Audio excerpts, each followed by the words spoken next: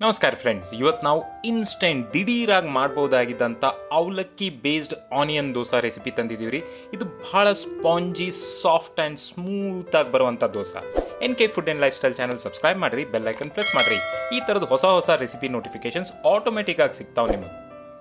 ಮೊದಲಿಗೆ hit ಮಾಡಮ್ರಿ hit ಮಾಡಲಿಕ್ಕೆ ಭಾಳ ಸಿಂಪಲ್ ಇಂಗ್ರೀಡಿಯೆಂಟ್ಸ್ ಒಂದು ಕಪ್ಪಷ್ಟು ಅವಲಕ್ಕಿ ತೊಗರಿ, ಒಂದು ಹತ್ತು ನಿಮಿಷ ನೀರಿನಾಗ ನೆನೆಸಿಟ್ಕೊಂಡ್ರೆ ಸಾಕು.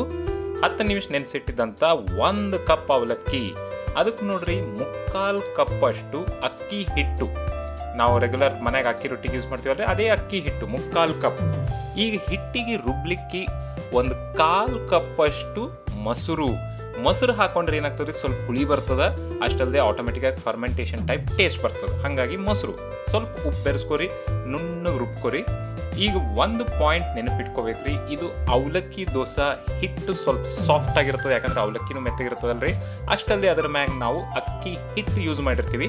ಹಂಗಾಗಿ ಬಹಳ ಸಾಫ್ಟ್ ಆಗಿ ಬರ್ತದೆ ಹಿಟ್ಟು. ಆ್ಯಂಡ್ ಇದಕ್ಕೇನು ಫರ್ಮೆಂಟೇಷನ್ ಬೇಡ, ಏನೋ ಬೇಡ, ಏನು ಸೋಡಾ ಬೇಡ. ಆದರೆ ಕನ್ಸಿಸ್ಟೆನ್ಸಿ ಒಂದು ನೋಡ್ಕೊರಿ. ಭಾಳ ಜಾಸ್ತಿ ನೀರು ಹಾಕಬಾರ್ದು. ಮೀಡಿಯಮ್ ಆಗಿರ್ಬೇಕು. ನೋಡ್ರಿ ಜಸ್ಟ್ ದೋಸೆ ಹಂಚ್ ಮ್ಯಾಗ ಹಾಕಿದ ತಕ್ಷಣ ಎಷ್ಟು ಈಸಿಯಾಗಿ ಆಟೋಮೆಟಿಕ್ ಆಗಿ ಸ್ಪ್ರೆಡ್ ಆಗ್ತದೆ ನೋಡ್ರಿ. ಅದ್ರ ಪ್ರಕಾರ ಹಿಟ್ಟು ಕನ್ಸಿಸ್ಟೆನ್ಸಿ ಮ್ಯಾಗ ಇದಕ್ಕೆ ಸ್ವಲ್ಪ ಉಳ್ಳಾಗಡ್ಡೆ ಹಾಕೊಂಬ್ರಿ ಕುಯ್ಕೊಂಡಿದ್ದು. ಅದ್ರ ಜೊತೆಗೆ ಸ್ವಲ್ಪ ಕುಯ್ಕೊಂಡಿದ್ದಂಥ ಮೆಣಸಿನಕಾಯಿ ಪೀಸಸ್ ಸಾಫ್ಟ್ ಆ್ಯಂಡ್ ಸ್ಮೂತ್ ಆಗಿ ಬರ್ತದ್ರಿ.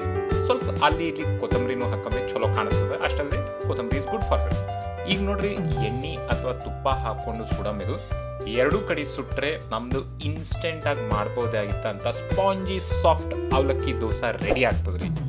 ಹಿಟ್ಟು ಅಪ್ಪಿ ತಪ್ಪಿ ಹಿಟ್ಟಿಗೆ ಏನಾದರೂ ಜಾಸ್ತಿ ನೀರು ಆಗೋಯ್ತು ಅಂದರೆ ಡೋಂಟ್ ವರಿ ಸಿಂಪಲ್ ಸೊಲ್ಯೂಷನ್ ಸ್ವಲ್ಪ ಫೈನ್ ಚಿರೋಟಿ ರವೆ ಹಾಕೋರಿ. ಇಲ್ಲ ಅಂದರೆ ಒಂದು ಎರಡು ಸ್ಪೂನ್ ಅಷ್ಟು ಮತ್ತು ಅಕ್ಕಿ ಹಿಟ್ಟು ಬೆರೆಸ್ಕೋರಿ ಸಾಕು. ಅದೇನು ಜಾಸ್ತಿ ಏನು ಪ್ರಾಬ್ಲಮ್ ಇಲ್ಲ, ಅದೇನು ಕೆಡಂಗಿಲ್ಲ. ಇದು ಯಾವಾಗಾದರೂ ಇಮಿಡಿಯೇಟಾಗಿ ಬೇಕು ಅನ್ನೋಂಥ ಟೈಮ್ನಾಗ ನಾವು ಮಾಡ್ಕೊಂಡು ತಿನ್ನುವಂಥದ್ದು. ಇಮಿಡಿಯೇಟಾಗಿ ದೋಸೆ ಬೇಕು ಇವತ್ತು ಬೇರೆ ನಮಗೆ ಊಟಕ್ಕೆ ಬೇರೆದೇನು ಡಿಶಸ್ ಬೇಡ ಅಂದರೆ ಇನ್ಸ್ಟೆಂಟಾಗಿ ರೆಡಿ ಎಷ್ಟು ಸಾಫ್ಟಾಗಿ ಬರ್ತದೆ ನೋಡ್ರಿ. ನಮ್ಮ ಈ ರೆಸಿಪಿ ಪಸಂದ್ ಬಂದು ಅಂದ್ಕೊಂಡಿದ್ದೀನಿ ಪಸಂದ್ ಬಂದಿದ್ರೆ ನಮ್ಮ ಚಾನಲ್ ಸಬ್ಸ್ಕ್ರೈಬ್ ಮಾಡಿರಿ.